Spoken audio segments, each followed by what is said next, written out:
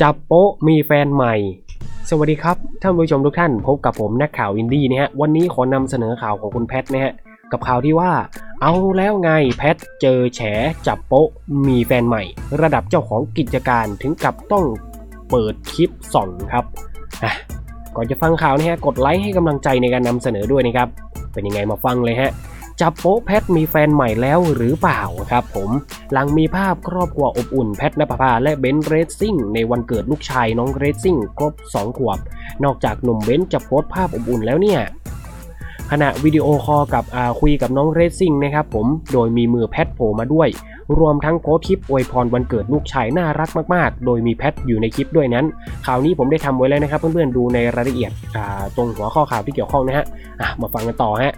พร้อมกับแคปชั่นอบอุ่นถึงลูกชายว่า Happy Birthday Racing นะไอหมาดื้อแฟนๆ นะครับแห่กดไลค์อยากเห็นภาพครอบครัวกลับมาอยู่ด้วยกันนะฮะ แต่มีคนบอกว่าทำไมแพทไม่เห็นโพสภาพเบนบ้าง อ่าทำไมครับ เพื่อนๆ สงสัยหรือเปล่าเลยครับ อย่างไรก็ตามนะครับขณะที่มดดำขจพาฮะพิธีกรฝีปากกล้า ออกมาปูดขณะดำเนินรายการรายการหนึ่งฮะ ว่าได้ข่าวแววมาว่า สาวแพทครับ สาวแพท สาวแพทมีแฟนใหม่เป็นหมอหนุ่ม ว้าว หมอสันตัวเองรู้ชื่อหมอคนนี้ด้วย เป็นระดับเจ้าของคลินิกด้วย ว้าว ว้าว เพื่อนๆคิดว่าไงฮะ ว้าวขณะที่ก่อนหน้านี้นี่ครับดีเจมะตูมเคยไปออกรายการบัดดี้ตีไข่กับแพท ถามประกาศกลางรายการว่าเทเบนเพราะมีหนุ่มคนใหม่ด้วยอืม แพทแทบเสียหลักเลยครับ อืม ถึงกับไงายท้องเออเนี่ยคลิปไงายท้องผมได้ทำไว้แล้วนะ เดี๋ยวผมจะทิ้งลิงก์ไว้ในรายละเอียดด้วยนะครับผมลองไปดูเนาะอ่าแต่ตอนนั้นนะครับแพทยังยืนยันว่าไม่มีสามีใหม่ แต่ตอนนี้มดดำมาปูดขนาดนี้คงต้องรอสาวแพทมาชี้แจงด่วนๆแล้วครับนี่ฮะ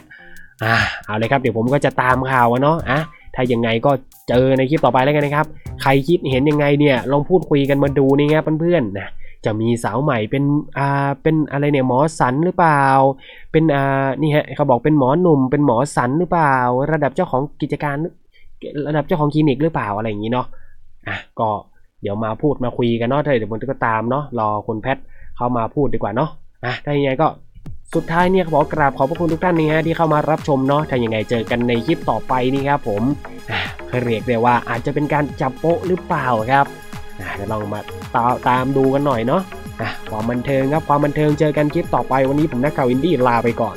สวัสดีครับ